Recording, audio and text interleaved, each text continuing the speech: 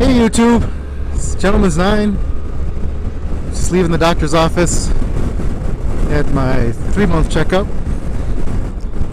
Everything's looking good. For good as can be, I guess. So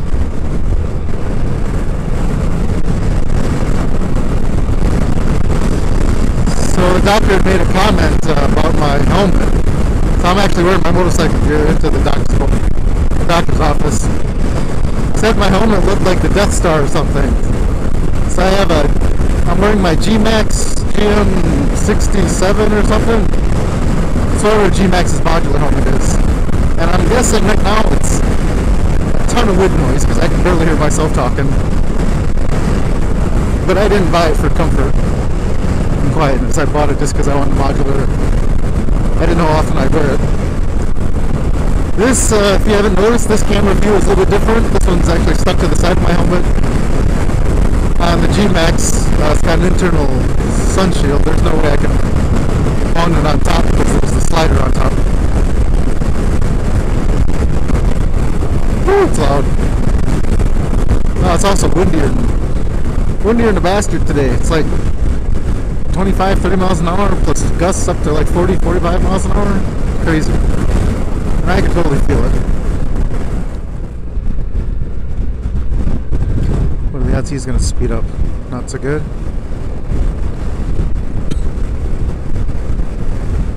I don't know if you can see that flag. It's blowing like crazy. So after work yesterday, I got home kind of late.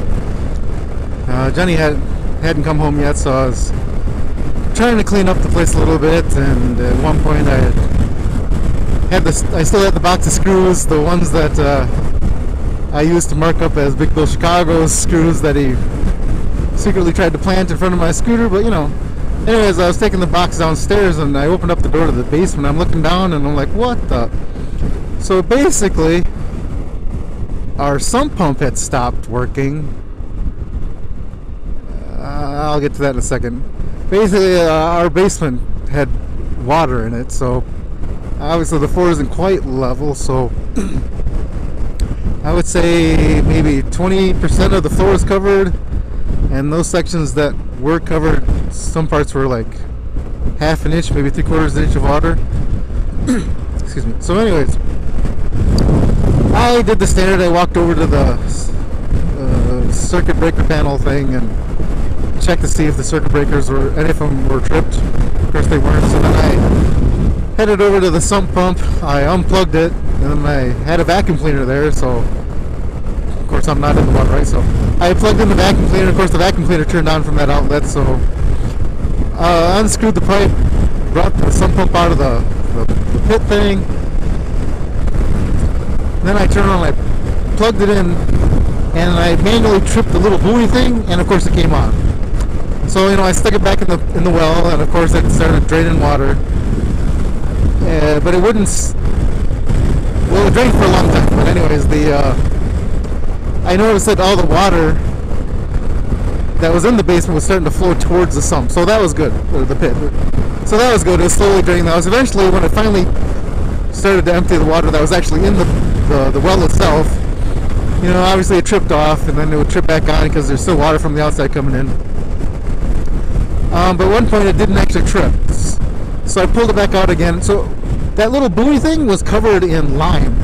And what was going on was because there was so much lime on it, it weighted down the buoy, so the buoy didn't have enough buoyancy to trip the, the little lever to turn the pump on. So I I broke off all the lime, and of course it's worked ever since. So that was yesterday. But uh, we got a lot of stuff that's wet. Fortunately, most of our stuff is in plastic containers, so that's good. Uh, obviously, the boxes that we had were are now destroyed. Uh, we had a couple. Our basement's unfinished, so we had a bunch of uh, uh rugs, mats, whatever you want to call it. Those are completely soaked in water. So Jenny and I stayed up until like maybe 1 a.m. or so, trying to move stuff around, suck up some of the water. So that's my job tonight. I get to go back home and continue the drying process hopefully it's kind of cleared up. Oh, I should also say this. So once the pump was working again, you know, drained it all the way to the bottom. What I did was I turned the pump off because I swear to God, this never.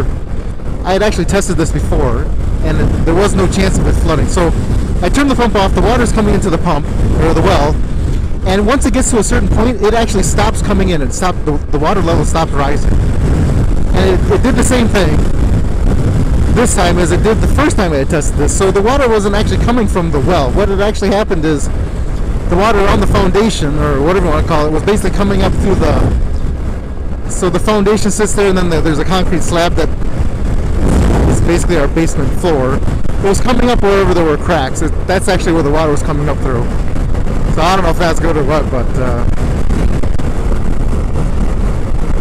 can't necessarily say that our pump failed, but our basement floor was obviously not meant to keep water out, which it's not meant to because if you look at it, it was it's kind of like a concrete slab that's kind of set into the foundation floor, if you want to call it that. I don't know. I'm not a I'm not a carpenter or anything like that, or a, or whatever, so I don't really know the technical terms.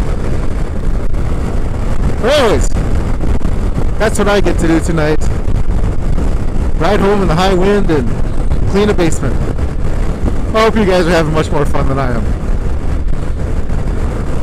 Alright, Gentleman's Nine signing out. Talk to you later. Bye.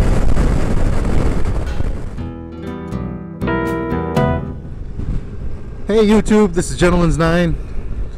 Just leaving the doctor. I had a doctor's appointment, regular family checkup type thing. Let me start again. Hey YouTube, it's Gentleman's Nine. Just leaving the doctor. I should just give this up, huh?